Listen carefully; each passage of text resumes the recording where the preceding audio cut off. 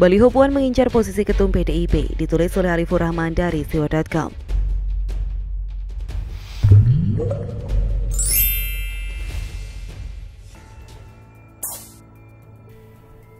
Baliho Puan Maharani terpasang di berbagai tempat. Lalu kita bertanya-tanya, apa tujuannya?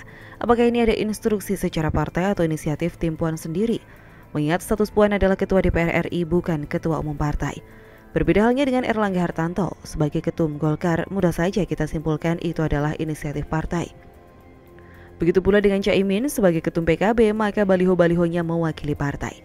Tidak salah kalau banyak orang berpikir dan menyimpulkan bahwa Puan akan maju sebagai capres atau cawapres, karena memang hanya itu kemungkinannya. Tapi kalau kita renungkan baik-baik, sebenarnya Puan bisa punya dua tujuan. Selain soal pilpres, bisa juga soal posisi ketua umum PDIP. Karena Bu Mega nampaknya akan benar-benar menyerahkan kursi pimpinan pada orang lain. Kalau dipikir-pikir baliho Puan Maharani ini sama seperti baliho AHY di tahun 2018 lalu. Tepat setelah dirinya kalah di Pilkada DKI, kita dibuat kebingungan. AHY ini mau ke mana? Siap untuk apa? Karena kalau secara hitungan Pilpres 2019 mustahil dia bisa maju, mengingat posisinya sebagai orang baru di politik dan baru saja kalah di Pilkada DKI. Kalah di Jakarta kok mau ikut kontestasi nasional, sehingga akhirnya dapat kita ketahui bersama-sama AHY batal maju di Pilpres lalu menjadi ketum Demokrat di 2020. Pertanyaannya, apakah Puan juga akan menempuh pola yang sama? Kalau dari ukuran Pilpres, rasanya Puan sulit bersaing dengan kandidat lain. Wan sudah mendapat kesempatan sebagai Menko lalu sekarang Ketua DPR RI. Namun secara elektabilitas namanya belum bisa diterima oleh masyarakat luas. Masih dipertanyakan prestasinya, masih diragukan kemampuannya. Ini juga membingungkan untuk sekelas Menko dan Ketua DPR RI, tapi masih dipertanyakan kemampuannya. Sementara Ganjar yang baru menjadi Gubernur Jawa Tengah justru mendapat dukungan lebih besar dari Puan. Tapi ya begitulah logika awam. Tidak ada rumus yang pasti soal suka dan tidak suka. Pernah juga Presiden Jokowi mengajak Puan belusukan, tapi tak ada isu yang bisa dimainkan di sana. Publik tidak tertarik, sehingga dalam kesimpulan saya bahkan Jokowi pun tidak bisa menaikkan nama Puan Maharani. Jadi target paling logis yang bisa diupayakan oleh Puan adalah posisi kursi ketum. Maka wajar kalau ada pengakuan berbeda antara Ganjar dan Gibran. Ganjar mengaku tidak pernah disuruh oleh partai untuk memasang baliho, sementara Gibran sebaliknya mengaku bahwa ada instruksi partai.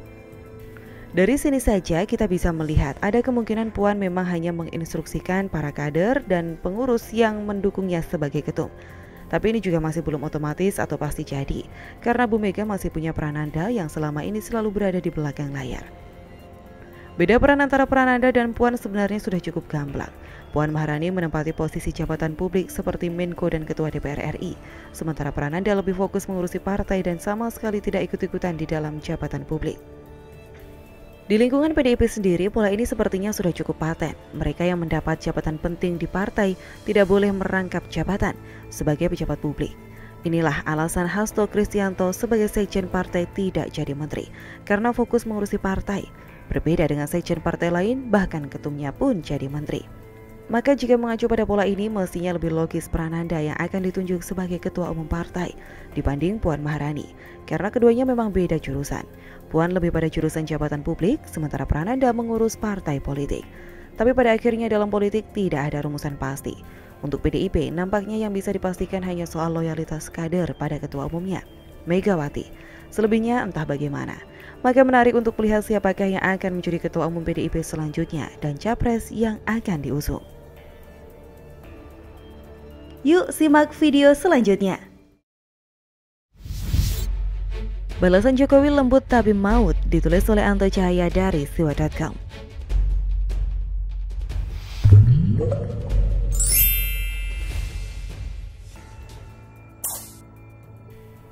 Joko Widodo, Presiden ke-7 Republik Indonesia, selama ini dikenal tenang dan tidak baperan. Soal karakter dasar ini, jika dibandingkan dengan sang mantan yaitu Presiden ke-6 SBY, tentu tidak imbang. Dan rasanya tidak perlu saya jelaskan panjang kali lebar. Kalian pasti jauh lebih paham. Kesukaan pada lagu Melunan Galau juga kata prihatin yang kerap digunakan di berbagai kesempatan saat SBY jadi presiden atau setelah tidak menjabat itu sudah dapat mendeskripsikan pribadi yang bersangkutan. Dan coba sekarang perhatikan selama Jokowi memimpin negeri ini, tak terhitung banyaknya serangan dari berbagai pihak terutama kelompok oposisi, baik itu yang datang dari partai, pengamat, mantan pejabat yang dipecat, ustadz dan juga kelompok organisasi masyarakat. Mereka serupa gelombang laut yang terus-menerus berusaha menghantam batu karang.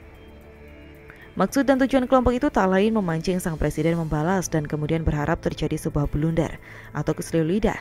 Nah kemudian dapat dijadikan narasi yang dahsyat, lantas secara serentak mereka lentingkan ke udara agar semakin menyebar ke mana-mana, menelusup ke relung hati orang-orang yang bersumbu pendek sehingga harapannya masyarakat ikut terbius oleh aroma yang telah dibuat dan mudah diperalat. Tapi mereka salah. Yang dihadapi adalah presiden dengan tingkat ketenangan yang tiada tanding. Jokowi memiliki kecerdasan emosional yang mumpuni. Jokowi cukup membalas dengan cara yang lembut tapi maut. Banyak lawan politiknya yang bertekuk lutut. Kalau serangan itu datang sekelas para politisi Partai Demokrat atau PKS tidak bakal dianggap oleh Jokowi karena memang mereka memiliki area teritorial sebagai oposisi yang memiliki ambisi menguasai negeri. Sedang nama-nama seperti idola pembenci Jokowi macam Rocky Gerung, Fadlizon, Amin Rais, Rizal Ramli, Refli Harun, Said Didu dan yang sejenisnya, mereka saya berani jamin Presiden Jokowi tidak digubris, bakal dibiarkan ngecuis karena manusia jenis mereka memang hanya butuh mendesis agar terlihat eksis. Sebelum kita menukik lebih dalam, saya tidak bosan-bosannya mengulang sebuah kalimat. Seorang filsuf pernah berkata, kebencian itu seperti minum racun dan berharap yang lain yang mati. Justru yang sedikit mengusik seorang Jokowi adalah dari jalur anak-anak mahasiswa. Kalau kumpulan para bocil berjaket alma mater ini kiranya butuh diberi perhatian, agar tidak merengek-rengek lantas tantrum tak terkendali di jalanan akibat ditunggangi para politisi. Kemudian ada pula kelompok organisasi masyarakat yang menggunakan bungkus agama. Ini yang berbahaya, sebab melibatkan akar rumput yang mudah terbakar. Berteriak Allahu Akbar tapi tidak pada tempatnya. Maka tidak heran jika kepala, kaki, dan tangan organisasinya disikat. Nah, kemudian serangan apa lagi yang dianggap cukup mengusik seorang Jokowi yang selama ini kita kenal tenang dan kalem dalam menghadapi situasi apa pun? Akhir-akhir ini kita dikejutkan dengan sebuah serangan pernyataan dalam bentuk kritik yang tak disangka datangnya bukan dari partai oposisi, bukan pula dari pengamat atau tokoh publik yang berseberangan, tapi ini justru datang dari seorang Puan Maharani Putri Megawati Sang Ketua Umum PDIP. Bahkan tidak hanya Puan, tapi juga para kader PDIP lainnya, seperti di komando serempak menyala. Tiba-tiba saja galak, seperti yang kita ketahui PDIP adalah partai dari Presiden Jokowi sendiri. Melalui partai ini dan partai koalisi Jokowi menjadi presiden untuk yang kedua kali. Tentu saja statement mereka yang terlihat vokal cukup membuat kening kita berkerut. Seolah tidak mau ketinggalan momen pandemik seperti hanya partai oposisi yang selama ini berisik, sengaja menggunakannya untuk menarik perhatian publik. Di saat pemerintah sedang butuh bersinergi kepada semua pihak agar sama-sama fokus mengatasi pandemi, Puan Maharani dan kawan-kawannya nampak justru bertindak sebaliknya, menyerang presiden dan menterinya. Puan berusaha mencuri perhatian dan menganggap presiden tak bakal berani jika berhadapan dengan dirinya, yang tak lain anak dari Ketua Umum PDIP dan juga Ketua DPR RI. Tentu saja ulah Puan dan kawan-kawannya ini harus diredam. Presiden Jokowi seperti sedang ditantang dan Jokowi sangat paham cara memperlakukan Puan. Suara Puan adalah suara Mega. Tak ubahnya teguran Mega kepada Ganjar saat memberikan arahan dalam pelatihan mitigasi bencana gempa bumi dan tsunami Bagunap DPP PDIP sekaligus peluncuran sistem peringatan dini multi bahaya geohidrometeorologi secara virtual. Itu kan dari awal kamu saya jadikan gubernur Jawa Tengah, kamu kan sudah pernah ngomongin toh urusan pelabuhan Semarang dan sebagainya, kata dia.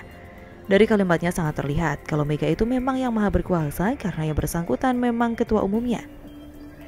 Mega berani menegur Ganjar karena merasa anak buahnya. Dari teguran Mega kepada Ganjar tersebut juga dapat dipahami jika untuk 2024 figur dari Partai PDIP ada di tangannya.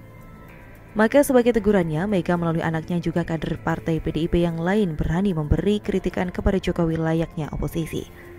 Tapi bukan Jokowi namanya jika tidak lihai membaca situasi. Jokowi sudah pasti tahu betul dapur PDIP dan bagaimana membalas sindiran tersebut dengan elegan tanpa harus mengeluarkan sepatah kata, tapi dapat membungkam mereka agar tidak terlalu jumawa. Jika Mega menggunakan Puan untuk mencoba memberi sinyal, maka Jokowi pun dapat dilakukan hal yang sama. Melalui Gibran, anak sulungnya yang menjadi wali kota Solo secara tiba-tiba mengganti foto profil di akun Facebooknya bersama Ganjar Pranowo. Ini terlihat sepele bagi masyarakat awam, tapi dalam seni semiotika politik memiliki inti makna yang dalam. Gibran tidak bakal sembarangan menggunakan foto profil bersama Ganjar seakan digambarkan iseng saja. Sama sekali tidak. Sudah pasti sepengetahuan dan seizin bapaknya. Cukup dengan foto profil doang, ratusan baliho puan yang tersebar di berbagai wilayah di Indonesia dengan biaya yang fantastis hingga ratusan miliar itu seolah tidak ada artinya. Karena rakyat bakal mencatat jika anaknya presiden saja mendukung Ganjar Pranowo untuk 2024. Dan bukankah itu artinya bapaknya Gibran sejak awal lebih condong ke Ganjar daripada Puan? Cara Jokowi membalas Mega, Puan, dan para kader PDIP lainnya sangat lembut sekali, tapi mematikan. Bagaimana tidak, ia sama sekali tidak mengeluarkan satu patah kata pun dari mulutnya, tapi cukup dengan sebuah simbol sebagai bentuk perlawanan arogansi dinasti. Dan saya yakin ini baru awal, kita bakal melihat adu kuat Mega versus Jokowi. Mega dengan mesin partai sedang Jokowi dengan relawannya yang menggurita. Dan selanjutnya bakal muncul perang pernyataan ala PDIP versus simbol-simbol khas Jokowi yang mematikan.